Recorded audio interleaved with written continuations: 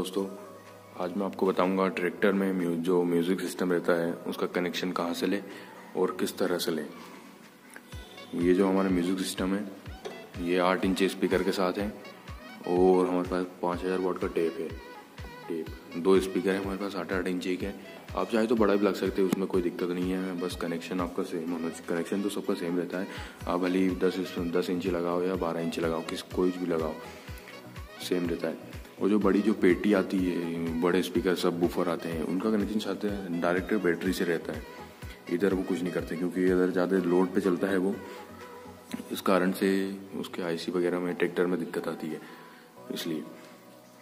चलो तो आ, आ, मैं बताता हूँ आपको कि म्यूज़िक सिस्टम का कनेक्शन कहाँ से लेना है। ये हमारे पास ये वाला सिस्टम है। एक मिनट रुकी ये हमारे पास दो स्पीकर ये जो नीले वायर दिख रहे हैं, ये स्पीकर के हैं, और ये वाइट वाले भी स्पीकर के हैं, चार स्पीकर के वायर है, और ये ब्लैक और रेड जो वायर है, ये हमारा एक रेड कलर का फेस है, और ये ब्लैक अर्थिंग का है। तो ये जो मेन वायर और हाँ दोस्तों, आपको सबसे पहले स्पीकर का सारा कनेक्शन पूरा कर लेना है, उसके बाद ही जो मेन रहता है फेस उसके, उसका वायर जोड़ना है। क्योंकि क्या होता है, कभी गलती से हमारा वायर टच होता है टायर वायर टच हो जाते हैं स्पीकर वगैरह के तो वो चैनल उड़ जाते हैं आईसी उड़ जाती है उसकी। इसलिए वो स्पीकर चल नहीं पाता, फिर आपको बदलाना पड़ता है। ठीक है? तो मैं आपको बताता हूँ, इसका कनेक्शन कहाँ से लेना है, कैसे लेना है और किस तरह से लेना है। तो चलिए, अगर आपको की से ही आपको अपने स्विच से ही ऑन ऑफ़ करना करना है तो आपको कनेक्शन यहाँ से लेना पड़ेगा और आपको जब डायरेक्ट बैटरी से चलाना है तो आप बैटरी सेव कर सकते हैं उसका मैं बताऊँगा आपको। ऑन ऑफ़ से यहाँ से लेना है, अगर आपको की से करना है ऑपरेट तो आपको यहाँ से नीचे ये जो फ्यूज़ वाला ये इसके में बैक में जाना है। यहाँ से देखिए इस तरह से। यहाँ से, यहाँ पे चलेगा। यहाँ पे ये जो रेड वायर है, ये फेस वायर है, यहाँ ये आपको लेके आना है, कुछ अलग से परचेस कर लेना है, यहाँ पे लगाना है ये। ये दिख रहा है, यहाँ पे ये ये जो स्विच है ना, इसमें जोड़ देना है। ये यहाँ से ये रेड वायर यहाँ से चला जाएगा यहाँ से इधर से आ गया, हमने नीचे से यहाँ से फिटिंग सारा से ली है।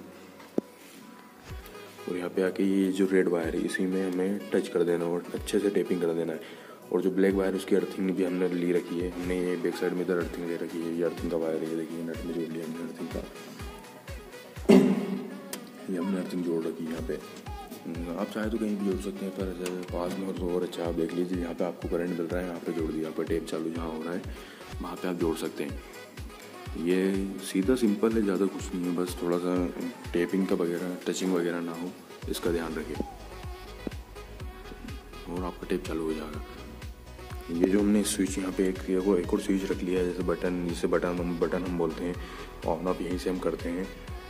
क्या है कि ऑपरेटर अगर आपको नहीं चलाना तो आप ये भी कर सकते हैं। और हमने इसका यहाँ पे जोड़ दिया, पत्ती लगा दी। है पत्ती लगा के हमने टेपिंग कर दी, यहाँ पे नट में लगा दिया है। और हमने इसकी फिटिंग भी इस तरह से की है, जैसे ये हिल नहीं रहा है, वगैरह कुछ भी। आप भी करवा सकते हैं, कोई दिक्कत नहीं उसमें। और अब मैं आपको बताता हूँ बैटरी से कनेक्शन कैसे है, ठीक है? चलिए बैटरी कनेक्शन लेते हैं।